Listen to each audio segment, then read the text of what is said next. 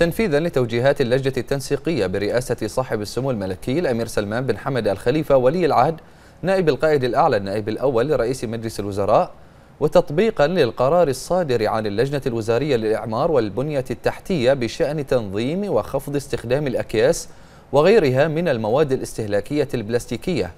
كشف سعادة الدكتور محمد مبارك بن دينا الرئيس التنفيذي للمجلس الأعلى للبيئة كشف على أن القرار الوزاري رقم 11 لسنة 2019 بإصدار اللائحة الفنية للمنتجات البلاستيكية سيدخل حيز التنفيذ في الحادي والعشرين من يوليو المقبل. بتطبيق قرار تنظيم وخفض استخدام الأكياس البلاستيكية في الحادي والعشرين من يوليو المقبل تصبح مملكة البحرين من أول الدول على مستوى العالم التي تحظر استيراد المخلفات البلاستيكية انسجاما مع توجهات الأمم المتحدة الداعية لمحاربة تلوث المحيطات بالمخلفات البلاستيكية.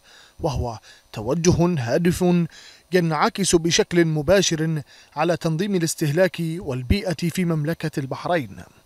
تطبيق هذا القرار يأتي بشكل تدريجي بدءا بالأكياس البلاستيكية ذات الاستخدام الواحد ولن يسمح بتوريد الأكياس البلاستيكية غير القابلة للتحلل للسوق المحلي. كما سيتم منع استخدام الأكياس البلاستيكية بشكل نهائي لبعض الاستخدامات في بعض المجمعات التجارية والأسواق الكبيرة في مرحلة لاحقة.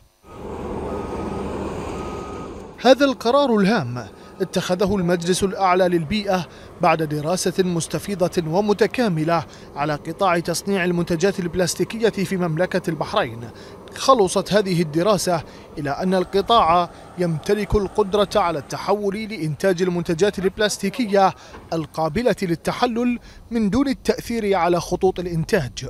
وعلى صعيد تنفيذ القرار في الحادي والعشرين من يوليو المقبل يعمل المجلس الأعلى للبيئة على إصدار دليل لترخيص المنتجات البلاستيكية للمصنعين والموردين لتكون الإجراءات بذلك سلسة وغير مؤثرة على المصنعين والموردين فضلا عن المستهلكين.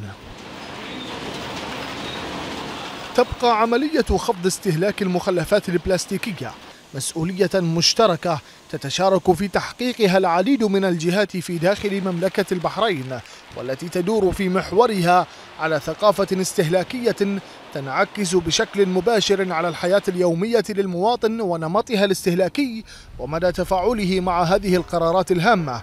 إدراكا منه بخطورة المخلفات البلاستيكية وتأثيرها على البيئة وعلى الإنسان. يحيى العمري لمركز الأخبار.